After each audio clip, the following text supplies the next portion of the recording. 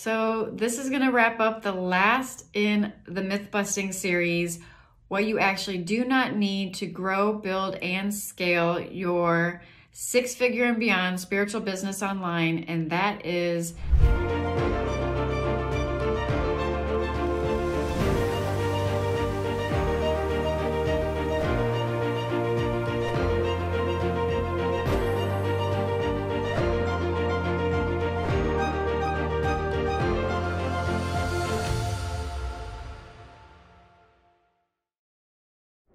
So this is gonna wrap up the last in the myth busting series, what you actually do not need to grow, build, and scale your six figure and beyond spiritual business online. And that is you do not actually need to feel ready.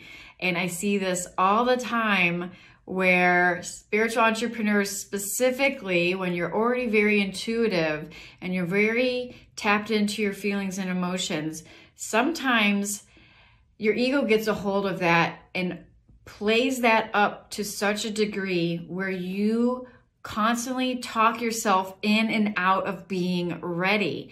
And so you really have to recognize when you're coming from the mental body, telling yourself that you're not ready, or when you're actually just not in alignment yet. There's a difference.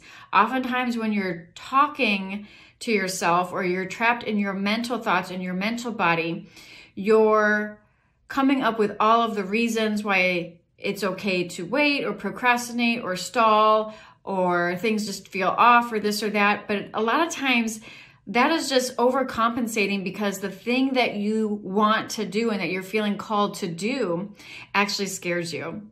And so you have to really be honest with yourself because it's really easy to start to you know, talk yourself in and out of being ready, especially if you go back and forth with, you know, tapping into how you feel about something. And this is something that I see spiritual entrepreneurs get caught up in all the time because they're already empathic, they're already intuitive, they're already, you know, really tuned in and tapped into their feeling body. But they also have an ego. Your ego still exists, and your ego is still scared as shit to take the next step and to take that leap of faith and move yourself forward. And so the ego is very sneaky at the stories that you will you know, with the stories that you tell yourself. And so you have to be able to discern the difference between actually being not in alignment and having something just simply not be the right time because there's a time and a place for that. Like you can download an idea of something and it just might not be something that you need to move on right away.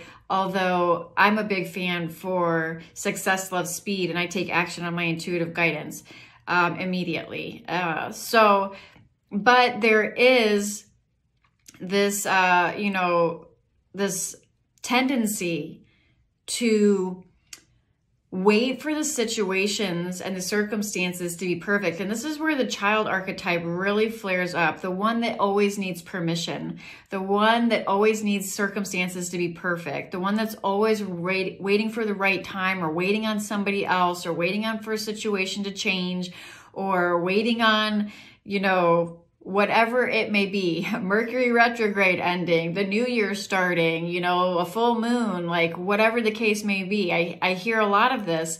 And it can be alignment if that's when it feels right to act but you have to be able to recognize when you're stuck in your mental body telling stories to yourself that really just are a fancy sneaky way for you to procrastinate and sabotage what it is you're going towards because you're still waiting for permission. And when I say waiting for permission, that can be a particular person that you're waiting to give you the okay or to let you know the situation's uh, conducive for you to get going with the project or something like that. Or it could just be waiting for permission for your circumstances to be perfectly aligned and ideal.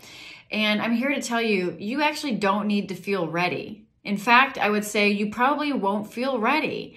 I mean, that's part of it. You don't need to feel ready. You will feel scared a lot of times, and you will feel um, that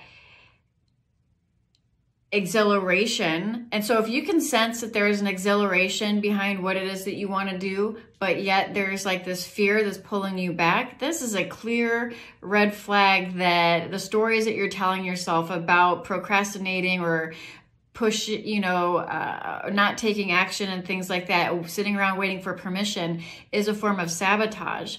Because if you feel a, this exhilaration behind what it is that you want to do, but yet then you fall a step backwards because of the fear, then this just means you need to, you know, put your big girl panties on and take the next step, not come up with a million reasons why the situations or circumstances or environment or people or, or whatever are not yet conducive for the perfect time because I can tell you there is no perfect time. You won't feel ready. It's okay to be scared. You have to take the action and get out of your comfort zone sooner than later because what you're doing is you're really just um, continuing that. It's always going to, it's, you're not going to be able to get out of your fear until you take action to get out of your fear.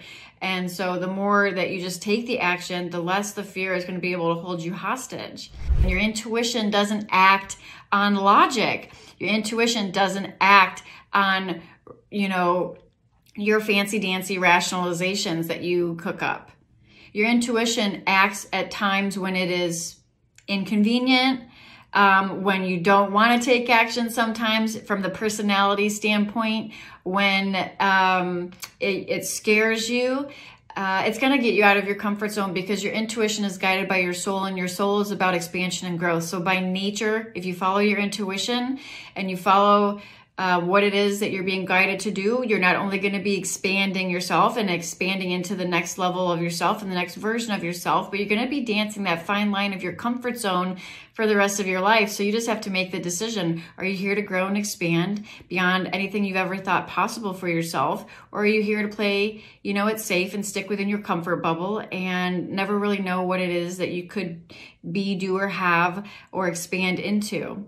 You have to make that decision every single day. And every single day that you do make that decision to follow your intuition and your guidance system, you will be challenged to get out of your comfort zone and the stories will kick up and the rationalizations will kick up and the justifications will kick up and the child archetype that's waiting for everything else to fall into place like it's going to be perfect is going to kick up. So you have to recognize the story that you're telling yourself. You actually do not have to feel ready to do what it is you're feeling called to do and follow the guidance that is leading you forward. You just have to take action. You have to be willing to take action. You don't have to be ready to take action. You just got to do it. At some point, you just have to do it. So I hope this video finds you well. If you like this video and you want to hop on my Soul Aligned Success Masterclass, you can find that also below this video, wherever you happen to be watching it. And on that masterclass, you're going to learn a little bit more about me, who I serve, what I do, what I'm all about. And if that really resonates with you and you're looking to grow or scale your six figure and beyond soul business online, you're going to get an invitation to hop on a 60 minute strategy session with me um, where I help you map out your own blueprint so that you can start living the freedom based lifestyle that you're craving while making a massive impact in the world, helping as many people as possible. So if that resonates with you, I would love to hear from you. I'd love to see you on the masterclass and I'd love to have uh, you book a call with So hopefully this finds you well and I look forward to tuning in with you on another episode very soon. Namaste.